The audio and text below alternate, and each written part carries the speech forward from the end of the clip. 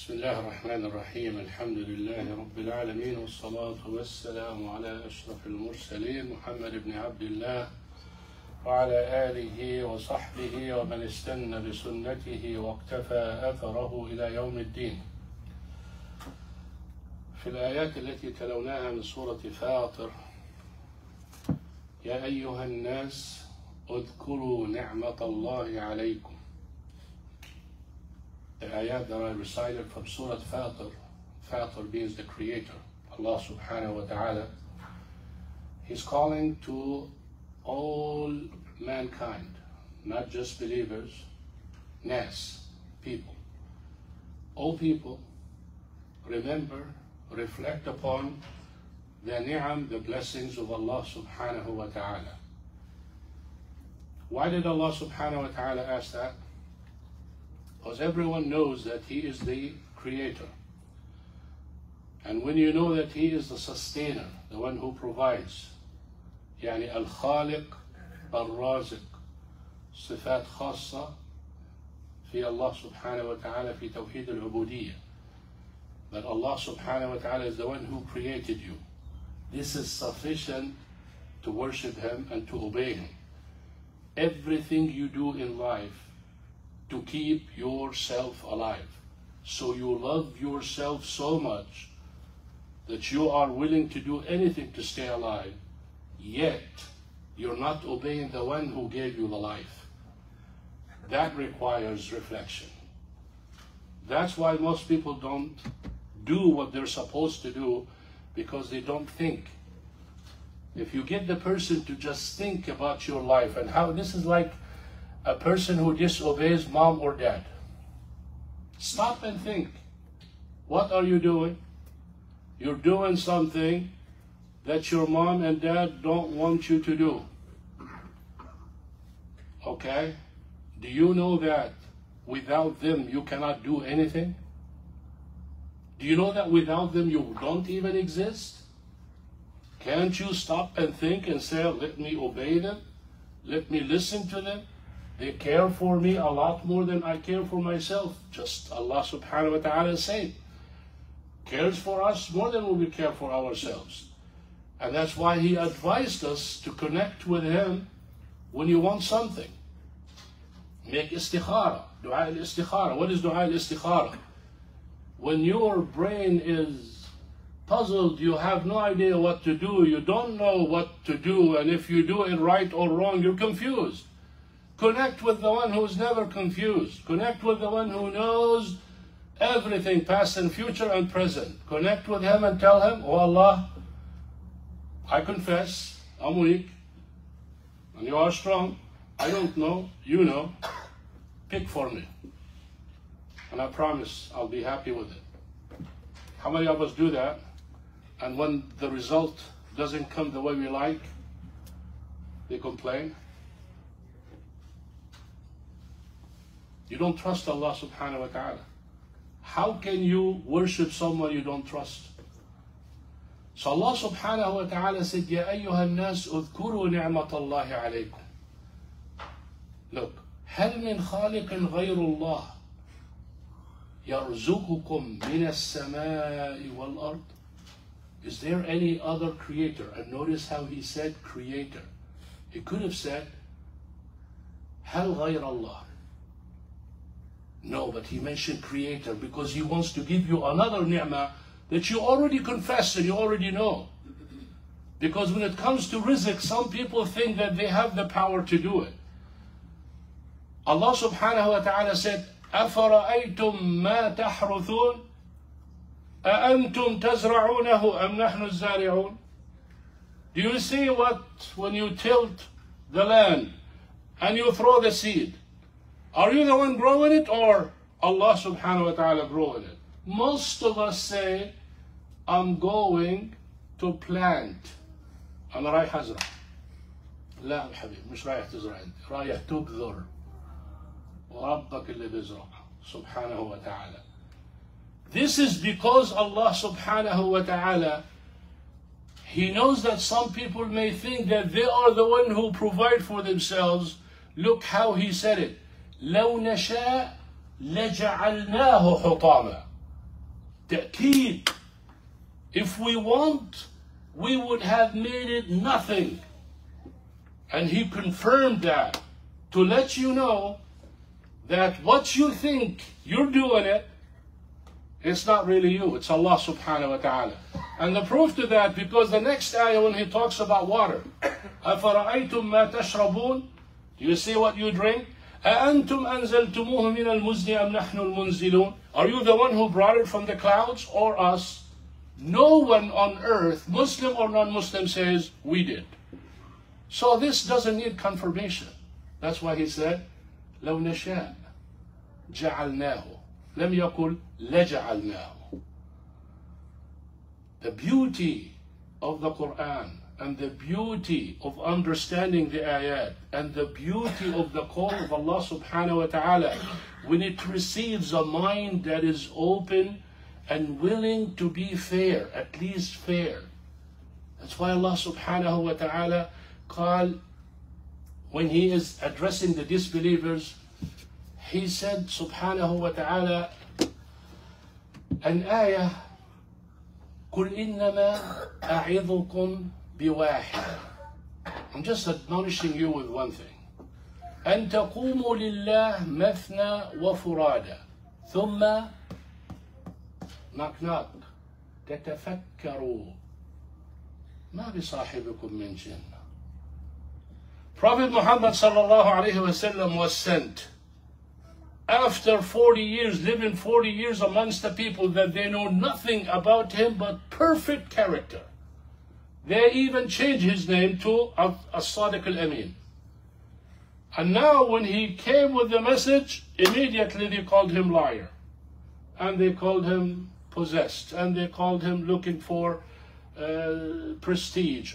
All of those calls. So Allah subhanahu wa ta'ala is telling them, settle down, calm down, logically, reason with it.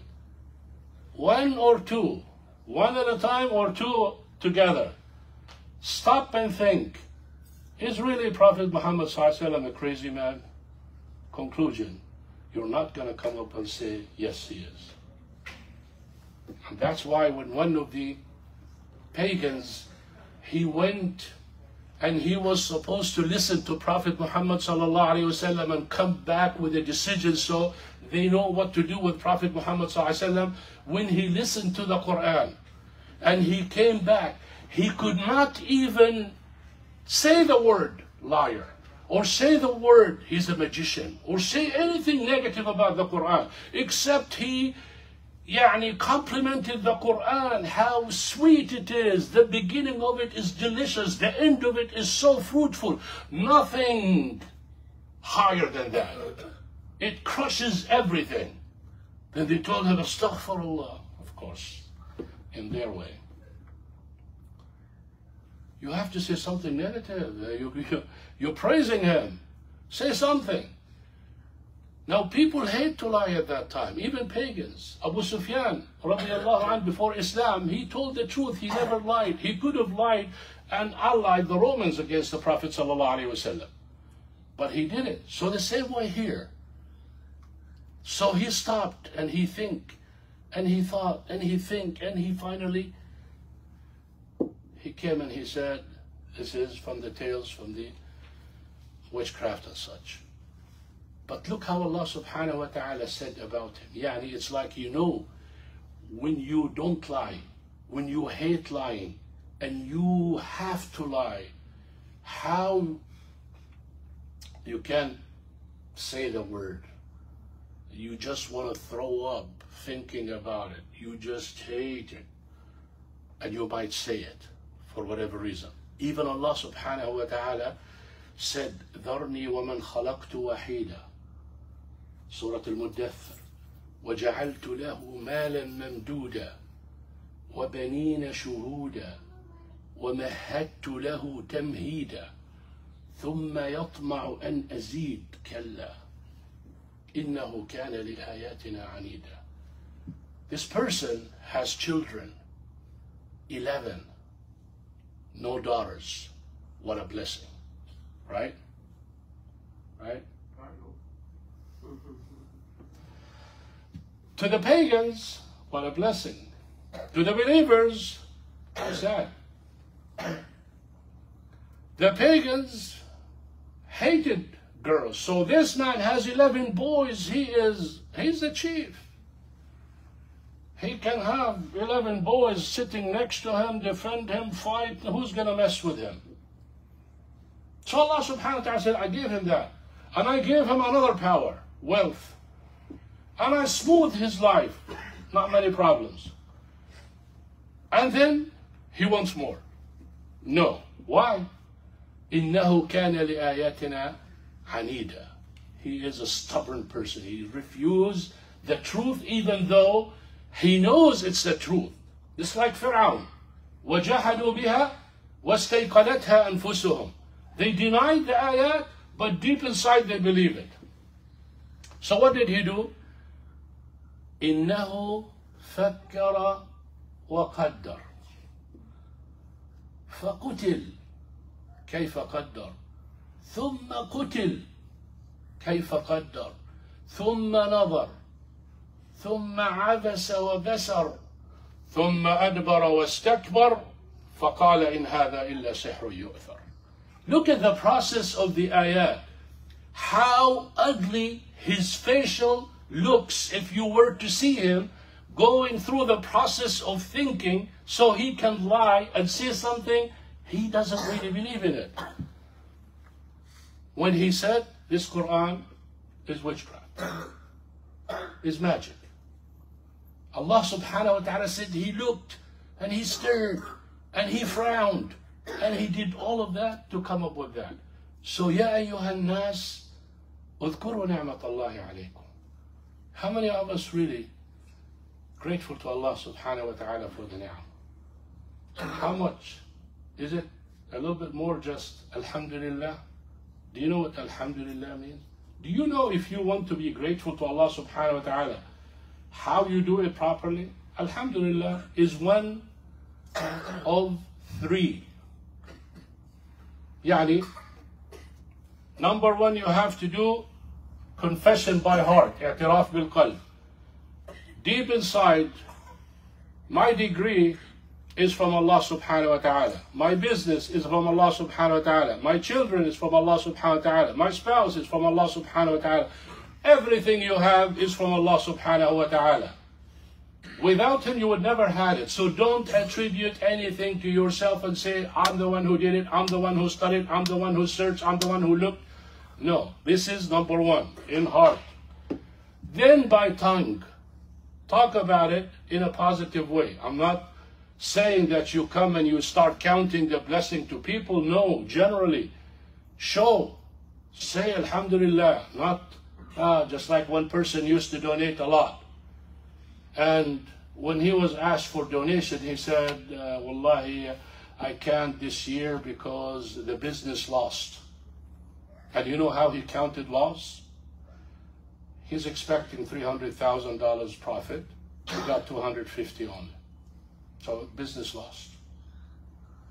So Allah, sorry. You only gave me 250,000. I was expecting 300 from you. I'm not going to give anything for your sake. What kind of mentality is this? What kind of a gratefulness is this? What kind of thinking is this? And who are you thinking with? And who are you dealing with? Allah subhanahu wa ta'ala. Amazing how people do it. So, you confess by heart, confess by tongue, and show it. Show it. If you have muscles, you go to the gym, right? What the humanity benefited from your muscles? How many people here go to the gym? Raise your hand. Did you benefit anyone with your strength? At least plan on it. Inshallah. Not beating up people, benefiting people. Because a lot of people, they, yeah, nowadays, they used to do it for beating up people, but nowadays they do it for looks. You know, if you ever go to the shower, or the main shower room, and you see how the selfie is uh, existing for. I, I thought women like to exhibit themselves, but men are worse. I'm talking men of nowadays. I'm not saying about you, brother. So, brothers and sisters, If you have strength, you help people. If you have money, you help and you spend. If you have knowledge, a computer, anything, there are masajid, there are people who are in need. Spend from that. Charity is not only money. Charity with your intelligence, charity with your knowledge, charity with your physical body, charity with anything that benefits. The Prophet ﷺ recommended for us to help people as much as we can, to establish good relationship with Allah subhanahu wa ta'ala and good relationship with people. And inshallah, you will be very successful in this life and in the hereafter. I would conclude this talk with telling you that people are divided to three categories when it comes to blessings. I'll read them for you and you figure it out. First one, لا يعرفون النعمة بوجودها وإنما بزوالها. Some people, they don't know what ni'am Allah blessed them with until they lose it. Wallahi, I used to think, yeah, I used to think, you never thought because if you thought before, you would not be thinking the way you're thinking now. Now you're thinking. Before, you never thought. لا يعرفون النعمة بوجودها ولكن لا يعرفون من أين أتت فيظنون أنها من عندهم. Some people they know the نعم they have but they think they are the one who got it. They don't know Allah سبحانه وتعالى is the one who facilitated it. يعرفون النعمة بوجودها ويعرفون أنها من عند الله لا من عند أنفسهم لكنهم يشغلون بها عن شكرها. They know the نعمة they know it's from Allah subhanahu wa ta'ala, not from them, but they get so busy in the ni'mah, they don't have time to say Alhamdulillah.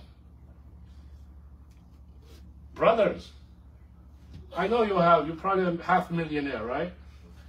close to it. If you have one shop and you open another shop, isn't that a ni'mah? Awesome ni'mah. How about if you have three shops? How much time do you have to think about the ni'mah? You're running from one shop to another counting your money. That's all your time is counting money and dealing with employees and fighting with this and fighting with that. You're, you're, you're gaining hundreds of thousands maybe per month and then you cannot sleep over because an employee stole $10 from you or the cash register is not 100% balanced or something. You call that ni'mah? You call that blessing? You call that life? Wallah, I'd rather be broke and enjoy myself than be in, in this. So they get busy with the ni'mah. They don't have time for alhamdulillah. And finally, يعرفون النعمة بوجودها لا بزوالها ويعرفون أنها من عند الله سبحانه وتعالى ولا ينشغلون بالنعمة عن شكرها وهؤلاء هم الشاكرون القليل Those who know the ni'mah and those who are busy with saying Alhamdulillah and those who know it came from Allah subhanahu wa ta'ala are the few that Allah subhanahu wa ta'ala said in many ayat وجعل لكم السمع والأبصار والأفئدة قليلا ما تشكرون قليلا ما تشكرون اسأل الله سبحانه وتعالى أن يجعلك من هؤلاء القلة الذين يشكرون الله سبحانه وتعالى العبد المؤمن الشاكر والمؤمن الصابر. تخيل يعني يعني هذه مراتب عالية جدا. A status that you are mu'min and you are grateful mu'min and patient what's left you are the mu'min that the Prophet ﷺ said, عجبا لأمر المؤمن أو عجبت لأمر المؤمن إن أمره كله له خير. all of the affairs of the believers are good. The believer is patient at time of calamities, and the believer is grateful at time of good. All of that is good for him. And may Allah subhanahu wa ta'ala make you from those kind of people. جزاكم الله خيرا بارك الله فيكم سبحانك اللهم وبحمدك أشهد أن لا إله إلا أنت أستغفرك وأتوب إليك والسلام عليكم ورحمة الله